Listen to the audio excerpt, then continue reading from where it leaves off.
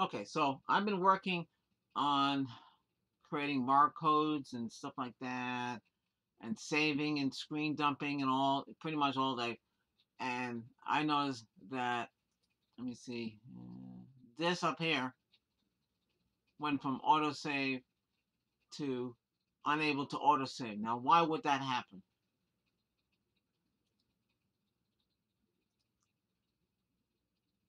So, so um, when you go back, let me go back here. Really can't show you too much. So when you go back to File, there's going to be at the bottom. There's going to be an option box when you see all your files on your OneDrive. Okay, and it's also showing your local drive. You go down the bottom, it'll say it'll say file print, save, and all the way down it'll say options. Click on options. Options will give you this. Uh, so you get this. This will appear. You want to click on save. You want to make sure. Uh, you may want to change some settings here. I added this setting here. Save by default, save the computer because if it can't save to the OneDrive, what's going to happen? And you know why it's not saving to the OneDrive? So you're doing screen dumps. So it's saving all the screen dumps.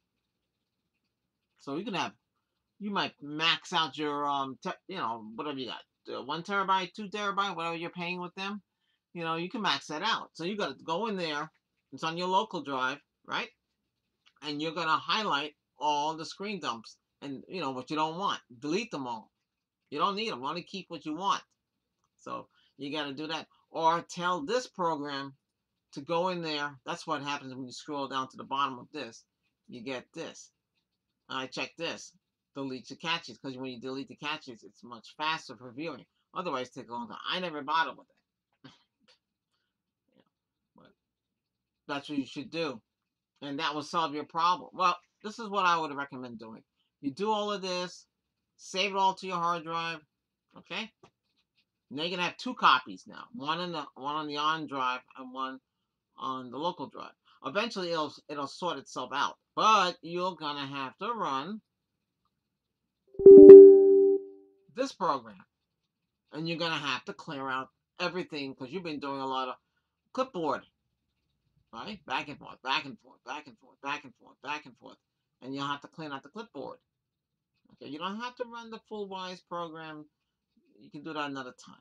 But you're going to be, you know, using the clipboard. I'll say you're using clipboard for several hours, right? You're going to have some weird stuff happen. Like, for instance, um,